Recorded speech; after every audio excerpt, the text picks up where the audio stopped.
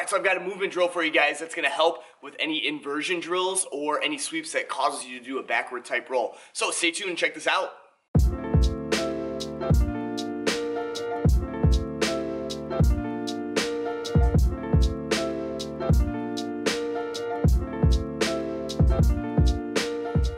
What's up? I'm James O'Connor, and what I'm going to do is just show you this movement drill that's going to help with any inversions, twister hooks, anything like that. This is not a sweep. This isn't necessarily a way to get on top of your opponent, although it could work. Uh, I, I, wouldn't suggest that you're trying this during rolling a whole bunch with and expecting a lot of success. This is just a movement drill. So Andrew's going to turn with his head that direction, feet towards me.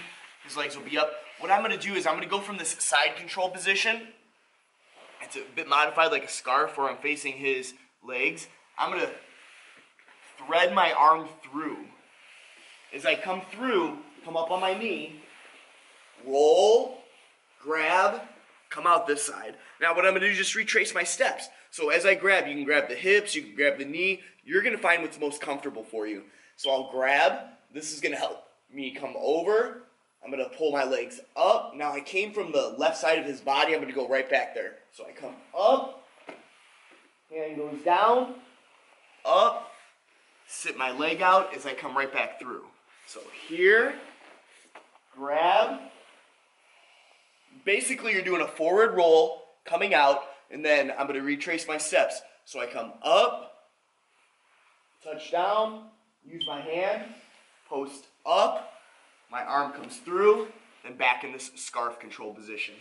Now you can do the same side like that, or you can alternate sides once you understand how to do the motion on both sides correctly. So after I go, so I'm on his left side, I'll come through, roll, now I switch my head over here, post, thread this arm through as I sit up and come up. Now I'm on the opposite side, I can roll through again and then come up on his left side. I'm on his right side now, so I would come through, roll, grab the hips, turn my head the opposite way, backward roll, come up, then right back to here.